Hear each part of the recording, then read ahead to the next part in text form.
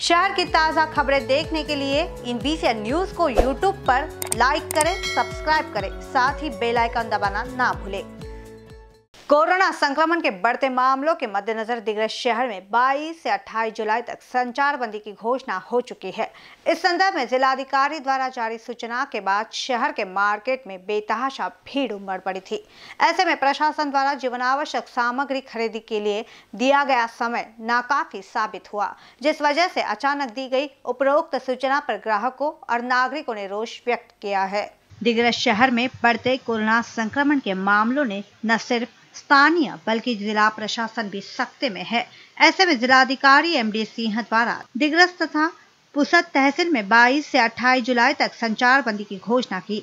मालूम हो कि इस संदर्भ में सोमवार की देर रात सोशल मीडिया पर इसकी सूचना प्रसारित हुई थी, जिसके बाद मंगलवार को बाज़ार में सुबह से ही लोगों की भीड़ जुटती गई। हर कोई जल्दबाजी में जीवनावश्यक सामानों की खरीदी में व्यस्त नज़र आ रहा था। कच्ची चौक, मेन लाइन, सब्ज़ी मंडी, किराना लाइन आदि सहित शहर बाज़ार का चप्पा चप्पा लोगों की भीड़ से सराबोर हो चुका था। इसके परिणाम स्वरूप जगह जगह पर ट्रैफ़िक जैम का मंजर बना रहा। दुकानों के सामने ग्राहकों की भारी भीड़, रेहड़ी, पटरी वाले माल ढोकर ले जाने वालों सहित एपे रिक्शा राहगीर, हर कोई अपना काम निपटाने की जुगत में लगा था। स्थानीय नागरिकों और ग्राहकों की मानो तो प्रशासन अगर दो से चार दिन पहले इस मामले में जानकारी साझा करती तो आज बाजारों में ना ही इतनी भीड़ होती, ना ही लोगों में हड़बड़ी मचती और ना ही सोशल डिस्टन्सिंग की इस कदर धज्जिया उडती। शासनाने जाहीर केलेली संचारबंदी ही जरी जनतेच्या हिताची असली, तरी ती तडखापडकी जाहीर केल्यामुळे जनतेने आज बाजारपेठेमध्ये जीवनावश्यक वस्तूच्या खरेदी करण्यासाठी तुडुंब गर्दी केली. व ही गंभीर बाब आहे. कदाचित शासन व प्रशासन याच्यामध्ये ताळमेळ नसल्यामुळे व आपले सन्माननीय मुख्यमंत्री हे जनतेमधून निवडून नाही आले त्यामुळे त्यांना कदाचित जनतेच्या प्रश्नाची समज कमी असेल. त्यामुळे कदाचित असे निर्णय घेण्यात येत असेल. परंतु आज जीवनावश्यक असं काहीच नाही तर जीवनच हे आवश्यक आहे. त्यामुळे प्रशासनाने जो संचारबंदी जाहीर केली आहे त्याला सर्वांनी उत्स्फूर्त प्रतिसाद द्यावा ही विनंती. तुमचा जे प्रश्न आहे गर्दी वाढण्याचे कारण काय?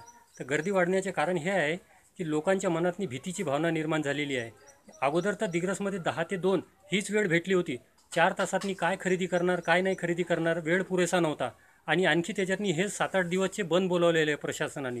त्यामुळे लोकांना असं वाटत आहे काही कास्तकार आहे काही रोजमजूर आहे सगळ्यांना लागणारे साधन भेटणार नाही भेटणार काय बंद राहते काय बंद नाही राहत.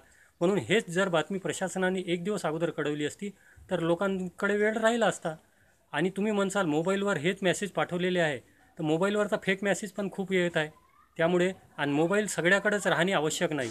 काही काही लोकांकडे मोबाईल पण नाही आहे. त्यामुळे नाही का ही गर्दी वाढलेली आहे.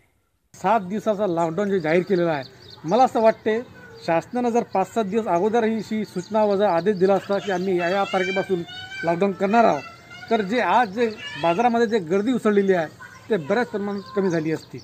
दुसरं म्हणजे जे दिग्रज शहरामध्ये एक गरीब वर्ग खूप मोठ्या प्रमाणात आहे जे हातावर आणून आणून पानावर खाणारे लोक जास्त आहे. अशा लोकांना तुम्ही सांगत असाल की आज उद्यापासून सर्व बंद होणार आहे. ते गरीब लोक बिचारे काय करणार एका दिवसात? काय आणणार एका दिवसात? तर मला वाटतं हे जर आदेश सरकारने जर दोन चार दिवस पाच सात दिवस अगोदर जर सांगितलं असतं तर बराच फरक पडला असता.